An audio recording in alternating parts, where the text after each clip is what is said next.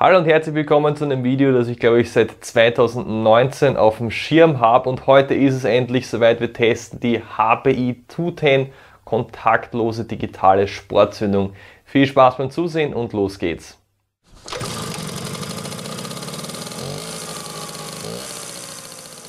Die HPI 210-Zündung steht nicht nur schon ewig lange auf meiner Liste, sondern ich habe sie auch schon eine ganze Zeit zu Hause liegen. Dank Christoph Lechner, der hat diese Zündung nämlich gebraucht, zur Verfügung gestellt, dass wir sie testen können und heute schauen wir uns mal an, was sie besonders macht und was sie alles gut kann. Schauen wir uns als erstes mal die Eckdaten der HPI 210 an. Im Lieferumfang ist neben dem Rotor auch der Starter, die Zündspule und die CDI mit einem Halter für die Zündspule und ein paar Schrauben halt eben enthalten, dass man das ganze Ding befestigen kann. Es dürfte ursprünglich für die Vespa konstruiert worden sein und dann ist es halt wie viele andere Zündungen auch mit der Grundplatte auf Puch-Mopeds angepasst worden. Laut Angabe 40 Watt, 12 Volt, AC und DC, das heißt es gibt wieder zwei verschiedene Kabel, wo wir uns draufhängen können und je nachdem was wir für eine Spannung brauchen, können wir dann den richtigen Verbraucher draufhängen. Natürlich haben wir bei HPI immer auch Dokumentation dabei. Der eine Teil hier ist speziell für die 210 und der zweite Teil, wo es um die Einstellung bzw. ums Auspinnen geht, ist genau der identische wie von der HPI 420, die wir schon von ein paar Jahren ausprobiert haben. Was ich bei der Anleitung ehrlich gesagt sehr schade finde, ist, dass kein Kabeldiagramm dabei ist, wie man dieses ganze Ding anschließt. Das bekommt man erst, wenn man den separat erhältlichen Regler für die Spannungsversorgung dazu nimmt. Ja, das ist eine Zündung, die mit 40 Watt Leistung AC-DC wirbt, aber der Regler ist nicht dabei und die Anleitung, wie man anschließt, auch nicht. Die kosten nämlich 45 Euro extra. Ihr könnt euch auch nicht einfach denken, ich brauche den Regler nicht, ich hänge einfach einen Zwischenwiderstand rein. Mm -mm, der Regler ist zwingend notwendig. Dieses Ding haut ohne Regler, wenn es am Stand läuft, 24 Volt raus. Und wenn ich Vollgas gebe, zeigt es mir einfach nur mehr XXX an. Also mein Multimeter sagt schon, mm -mm, das ist mir zu hoch und deswegen, ja, ihr braucht den Regler unbedingt. Wie es einem die Anleitung schon verratet, kann man die HPI 210 für Linksdreher und für Rechtsdreher verwenden. In unserem Fall beim E50 ist es natürlich ein Rechtsdreher. Hier sieht man gleich, dass man auf keinen Fall vergessen sollte, den richtigen Abzieher mit zu bestellen. Der passende Abzieher ist der von der Kupplung bei dem E50 Motor mit dem Bügel und den drei Schrauben. Sehr günstiges Ding und wenn man einen E50 hat, braucht man das sowieso, also ist es die Investition auch wert. 250 Euro kostet dieses Ding beim Puchshop ursprünglich, wobei es eigentlich jetzt schon seit Ewigkeiten auf Dauerreduzierung ist. Der Zubehör, den es für die 210 gibt, ist der Seilzugstarter als erstes einmal, das interessiert relativ viele Leute und es gibt auch eine Erschwerungsplatte. Wobei ich hier dazu sagen muss, genießt diese Erschwerungsplatte mit ein bisschen Vorsicht. Bei der von Haus aus doppelt so schweren 420er HPI haben wir damals 320 Gramm draufgegeben und sie war für Schaltmotoren immer noch komplett ungeeignet. Die Erschwerungsplatte für die 210 hat gerade mal 280 Gramm. Also für Schaltmotoren mh, hm, würde ich euch nichts ans Herz legen. Ersatzteile sind für die HPI 210 prinzipiell gut verfügbar, außer der Stator den muss man bei HPI Österreich bestellen, nämlich bei MW Technik. Alles andere bekommt man sonst auch easy und sie hat natürlich auch mit der CDI wieder eine digitale Zündkurve drinnen, die man auch in der Betriebsanleitung finden. Das Einbauvolumen von der HPI 210 ist nahezu identisch wie bei der 420er HPI. Es ist eine sehr kleine Zündung, das heißt, man braucht beim Moped eigentlich nichts verändern. Man braucht den Rahmen keine Löcher bohren, man braucht die Seitenverkleidungen nicht zerschneiden. Ich rede hier natürlich jetzt von einem Fahrzeug, was sonst mehr oder weniger original ist. Supermaxi halt eben. Und wie ihr seht, seht ihr nichts. Und auch von der anderen Seite ist die Zündung schön versteckt und getarnt. Schauen wir uns den Einbau an, ein paar kleine Finessen gibt es nämlich. Ihr müsst den Stecker auspinnen, das seid ihr auch von den letzten HPI-Videos schon gewohnt. Nehmt euch einfach eine rostige alte Düsennadel her, schleift sie ein bisschen ab und ihr habt das perfekte Werkzeug, dass ihr euren HPI-Stecker auspinnen könnt. Die Anleitung dazu in Bildform gibt es auch dazu zur Zündung. Ihr müsst euch in der linken oder rechten Seitenverkleidung, je nachdem wo ihr euren Luftfilter habt, ein kleines Flacheisen biegen. Sowohl der Spannungsregler als auch die CDI passen dort mit einem leichten Winkel schön rein, die Kabelstreifen, nirgends ist genug Platz, dass ihr das dort alles unterbringt. Die eine Sache, die euch sofort auffallen wird, wenn ihr die Geschichte mal so an die Stellen gepackt habt, wo ihr sie haben wollt, ist, dass die Kabel viel zu lange sind. Das ist jetzt nicht unbedingt schlecht, aber es ist halt einfach ein bisschen ein Kabelsalat. Das heißt, ihr habt zwei Optionen, entweder ihr macht überall Ringel und macht die mit Kabelbindern schön fest, oder ihr kürzt die Kabel und gebt neue Kabelschuhe drauf, ein bisschen mehr Ordnung. Hier drüben kommt unser Kabel jetzt wieder raus. Ich habe die Pins wieder in der richtigen Reihenfolge reingesteckt. Das ist von dem Stecker, also von dem Clip weg gesehen, blau, weiß, schwarz. Und jetzt kommt hier unsere wunderbare Seitenverkleidung ins Spiel. Da können wir den Stecker nämlich einfach anschließen. Und hier kommt aus dem Gleichrichter jetzt gelb zweimal auf einen Kabelschuh zusammen. Und das Kabel, was von der Zündung kommt, hat auch ein gelbes Kabel und die werden beide zusammengeschlossen. Ein gelbes Kabel von der Zündung auf zwei gelbe Kabel vom Gleichrichter.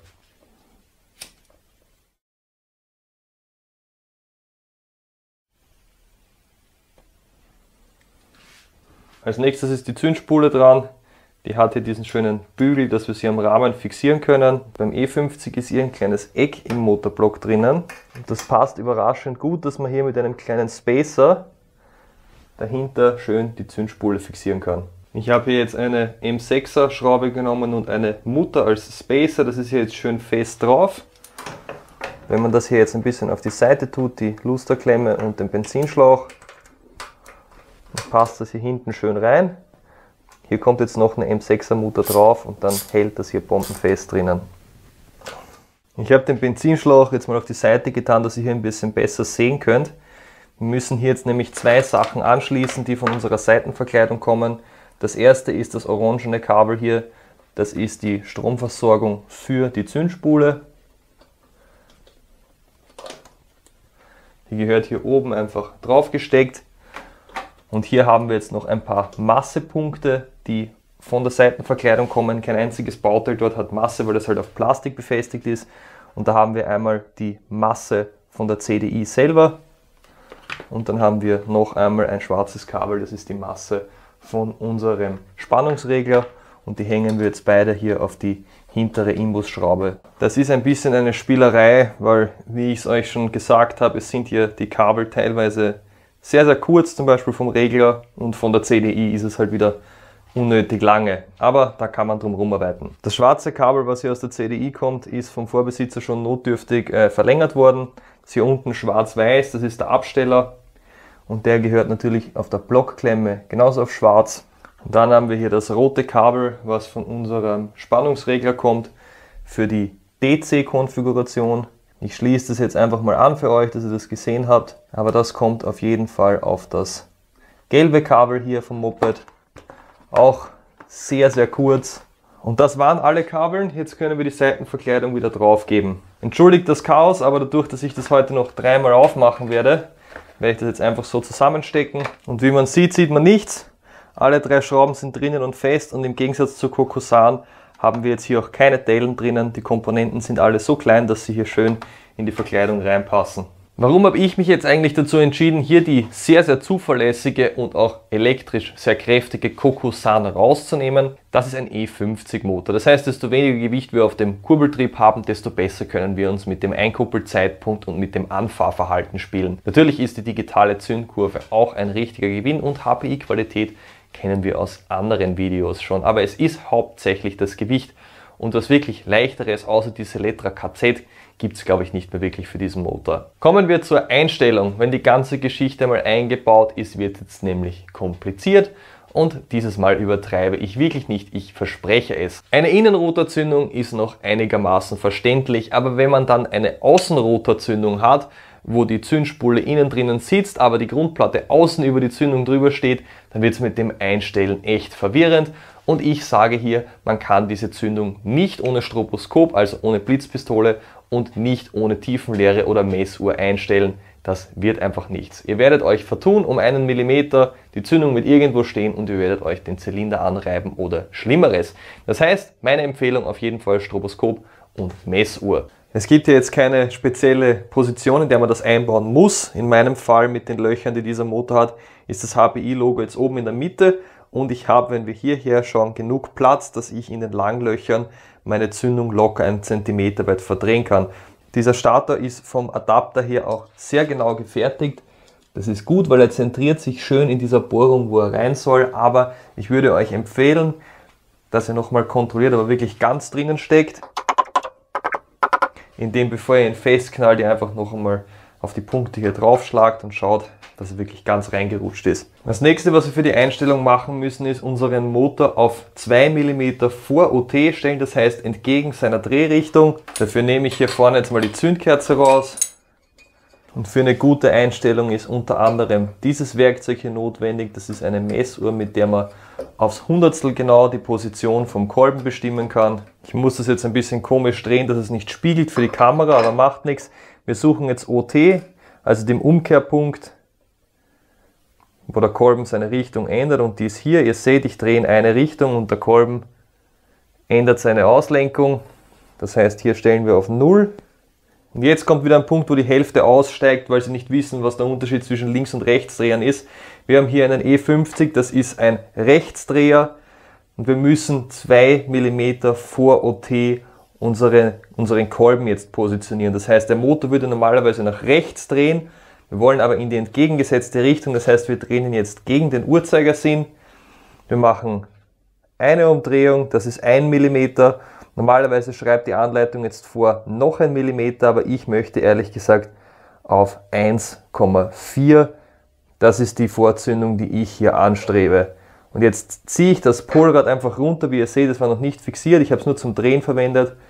Hier bin ich jetzt auf 1,4 mm vor OT. Jetzt sind die zwei Zeichnungen hier oben interessant. Das ist wie gesagt ein Rechtsdreher, das heißt die Zündung zündet wenn diese zwei Striche hier fluchten. Hier ist ein schwarzer Strich auf dem Stator und auf dem Rotor und wenn die zwei fluchten, dann fliegt der Zündfunken und wir wollen, dass er bei 1,3, 1,4 mm vor OT in unserem Fall hier zündet. Das heißt, er steht jetzt auf diesem Punkt, wo er zünden soll. Da haben wir ihn gerade hingedreht. Jetzt müssen wir nur noch hier unseren Schlitz auf dem Polrad finden. Man sieht ihn hier schön in der Mitte und müssen ihn hier auf die rechte Markierung stellen. Hier sieht man diese zwei unterschiedlichen Markierungen. Für den Rechtsdreher ist jetzt für uns diese hier interessant. Und ich habe jetzt immer ein Auge vorne auf die Messuhr, dass ich, während ich den, das Polrad draufstecke, nicht meine Vorzündung verstelle. Schön vorsichtig, nicht die Kurbelwelle verdrehen, dass diese zwei Punkte hier aufeinander stehen.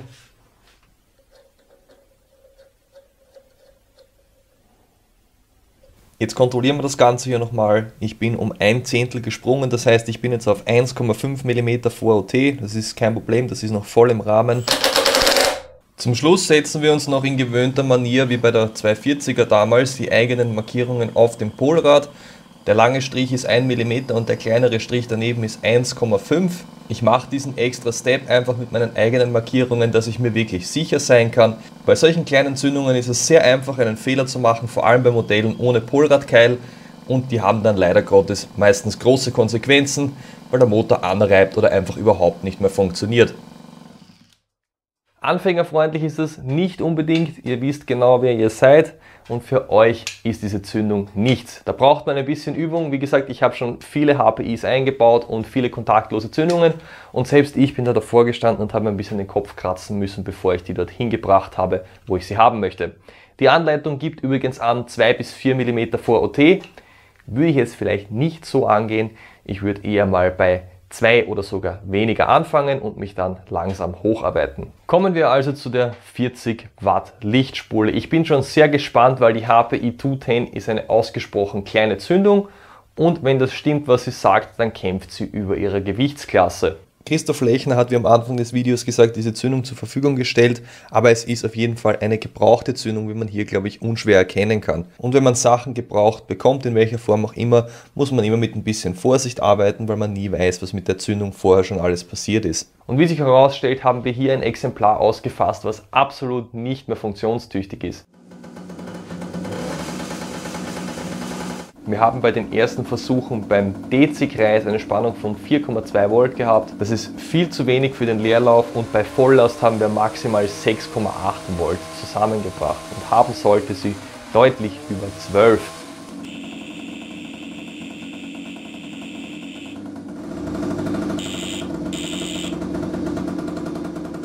Und wenn wir den AC-Kreis gemessen haben, den ungleichgerichteten nach dem Spannungsregler, dann haben wir überhaupt keine Anzeige auf dem Multimeter gehabt. Das heißt, hier drinnen sind die Dioden abgebrennt im Gleichrichter oder sonst irgendwas. Keine brauchbaren Werte rausgekommen auf jeden Fall. Das Licht war sehr, sehr schwach, das Licht hat geflackert. Einfach eine ungute Situation und deswegen habe ich mal einen neuen Regler bestellt. Wie gesagt, habe ich gute Ersatzteileversorgung, hat aber trotzdem 45 Euro plus Versand gekostet, das gute Stück. Und jetzt seid mir mal wirklich nicht böse, dieser Gleichrichter kann in der Produktion maximal 3 Euro kosten.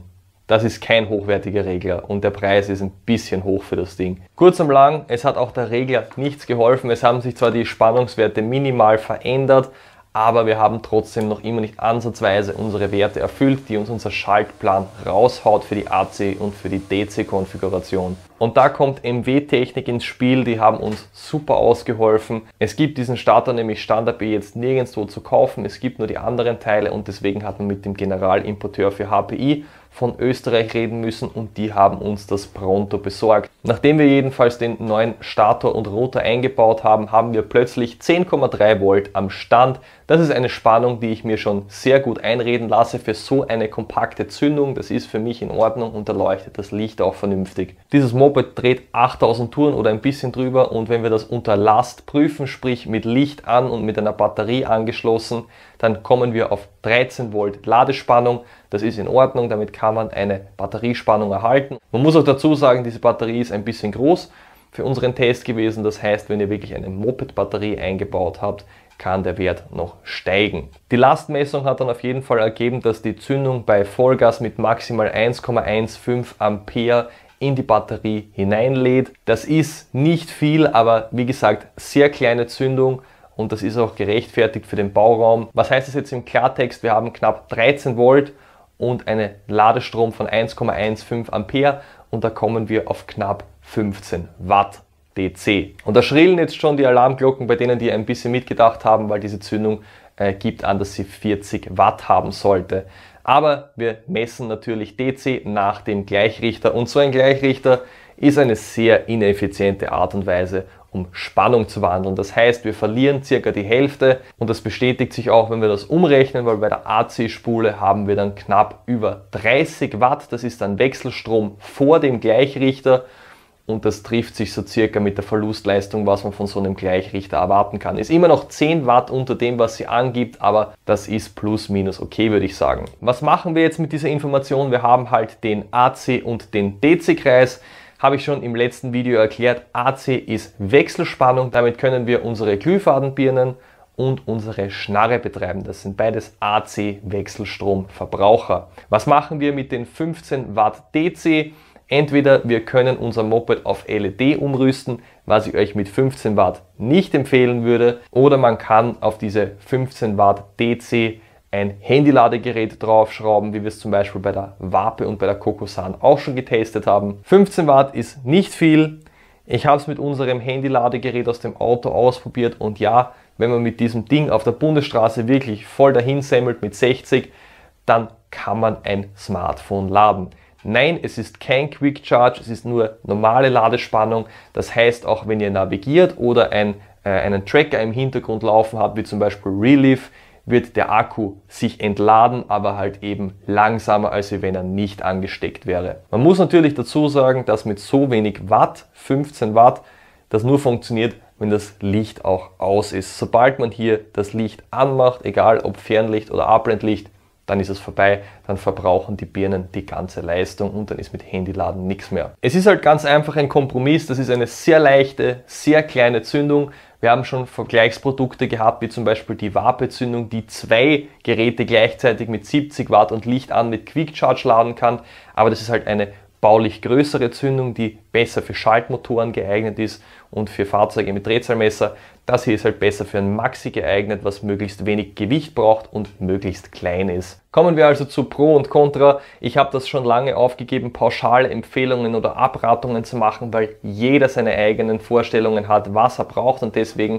schauen wir uns an, was die Zündung für euch bieten kann. Kontaktlose Zündungen sind natürlich verschleißfrei. Ihr stellt das einmal ein mit dem Stroboskop und dann habt ihr die Geschichte erledigt. Solange ihr das nicht runternehmen müsst, habt ihr keinen Verschleiß. Alles Solid State und natürlich nicht zum Nachstellen. HPI-Ersatzteileversorgung ist gewohnt gut und wenn man die richtigen Wege trifft, wie zum Beispiel bei MW-Technik, dann bekommt man sogar die Teile, die nicht in jedem anderen Shop erhältlich sind. Passform und Qualität sind von HPI sehr gut. Die Grundplatte, die da angefertigt worden ist für die Buchmotoren, passt hervorragend rein und man hat genug Einstellweg, dass man sich auf jeden Fall mit der richtigen Vorzündung trifft. Das Einbauvolumen ist sehr klein, man bringt das, wie man gesehen hat, ohne dass man irgendwas von außen sieht, in das Moped rein. Ich habe vorher von Dauerreduktion geredet, das Ding kostet normalerweise 250 Euro, aber wenn man sich jetzt anschaut, die HPI 210 mit dem Spannungsregler, den man da extra dazu kaufen muss, ist nur um ein Haar teurer als wie die HPI 420.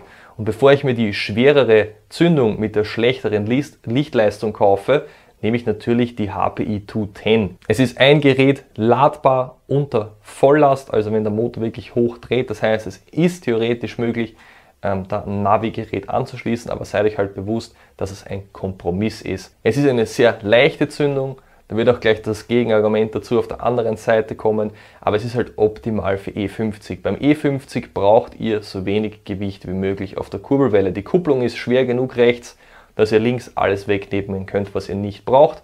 Und wenn ihr eine Kombination aus gutem Licht und wenig Gewicht habt, dann ist das auf jeden Fall ein Gewinn für den E50 Motor. Und das letzte auf der Plusliste, dadurch, dass ich seit Oktober 2021 mit den elektrischen Problemen von dieser Zündung gekämpft habe, bis ich sie jetzt endlich gelöst habe, eine Ewigkeit später, kann ich euch auch sagen, dass dieses Ding sehr zuverlässig ist, zumindest was die Zündfunkenseite von der ganzen Geschichte angeht. Ihr kennt Sophies Moped, das wird nicht geschont, das wird gefahren. Vollgas, egal ob es eiskalt ist oder nicht. Und es ist ein Alltagsfahrzeug, mit dem ins Büro gefahren wird. Und es hat bis jetzt noch nie Probleme gehabt. Der Zündfunken ist immer stark, die Zündkerze ist immer sehr schön sauber an der Spitze. Das heißt, man sieht, dass sie sich gut reinigt und ich bin sehr zufrieden mit der Leistung. Und so leiten wir auch gleich über zu Contra. Meine persönliche Meinung ist, dass solche Zündungen auf einem Schaltmotor nichts zu suchen haben, außer mit einer Ausnahme, nämlich gebläsegekühlte Motoren. Wenn ihr jetzt zum Beispiel einen ZA50G habt oder einen gebläsegekühlten Viergangmotor mit einem großen Lüfterrad, wo noch ordentlich Masse dazukommt, dass der Kurbeltrieb ohnehin wieder schwerer wird, dann kann man das auch für Schaltmotoren verwenden. Aber primär ist das für Eingang-Automatik oder Zweigang-Automatikmotoren gemacht und deswegen äh, ja, für Schaltmotoren eher zu leicht. Da möchte ich auch kurz aufklären, bevor ich wieder 100 Nachrichten bekomme. Ihr könnt das Ding wirklich nicht fahren im originalen Zustand ohne Erschwerung durch ein Lüfterrad oder ähnliches. Selbst wenn ihr die Erschwerungsplatte drauf gebt mit den knapp über 200 Gramm, ihr werdet das Ding entweder an der Ampel mit Vollgas losfahren müssen, dass es euch fast auskommt, wenn ihr losfahrt, oder ihr werdet es jedes zweite Mal an der Ampel abwürgen. Kabelbaum muss höchstwahrscheinlich modifiziert werden. Es ist wie gesagt ein Vespa-Produkt. Im besten Fall müsst ihr nur einen Kabelschuh ausbauen und den Stecker auspinnen und halt ein paar Kreise drehen und das mit Kabelbinder schön fixieren, weil einfach viel zu viel Kabellänge da ist. An anderen Stellen sind die Kabel wieder viel zu kurz, zum Beispiel die Masse von der CDI oder von dem Spannungsregler ist so kurz, dass man die Seitenverkleidung kaum wegbringt. Da wäre es besser, wenn man die Komponenten auf dem Rahmen irgendwo befestigt. Da müsste man wieder Löcher reinbohren. Man sieht einfach, dass das Produkt nicht primär für Buchmopeds gebaut worden ist, aber das ist klar, das wäre viel zu viel Produktionsaufwand. Ein weiteres Kontra ist, dass diese Zündung sehr schwer zum Einstellen ist. Ich habe es vorher eh erwähnt, der Rotor hat keinen Polradkeil, das heißt, ihr habt keine Möglichkeit, irgendwie einen Startpunkt festzulegen. Das Einzige, was euch überbleibt, ist, dass ihr euch intensiv mit der Anleitung auseinandersetzt und dass ihr euch das Stroboskop und die Messuhr zu Hilfe holt. Für Anfänger definitiv nichts. Ich würde da jetzt nicht blindäugig reinlaufen und ich würde vor allem nicht ohne Werkzeug versuchen, diese Zündung einzustellen. Und das letzte, was ich Negatives darüber zu sagen habe, bei einem von den Statoren, bei dem neueren tut sie das jetzt übrigens nicht, aber beim alten ist der Rotor tatsächlich angestanden und hat das Kabel äh, durchgescheuert und war jetzt kurz davor, dass auch die Isolierung vom gelben Kabel mitnimmt. Und ganz zum Schluss von der Geschichte jetzt meine Meinung zu 210. Ich habe sie eh schon ein bisschen durchtropfen lassen während dem Video. Für E50 super cool. Ich mag, wie sich dieser Motor verhält vom Einkuppelzeitpunkt her, dass er so rasch hochdreht und dann ordentlich Schwung hat, dass er die Kupplung mitnimmt. Das passt sehr gut zu der Motorarchitektur. Und ich verlinke euch hier jetzt nochmal die Facebook-Seite von MW Technik, die findet ihr unten in der Beschreibung.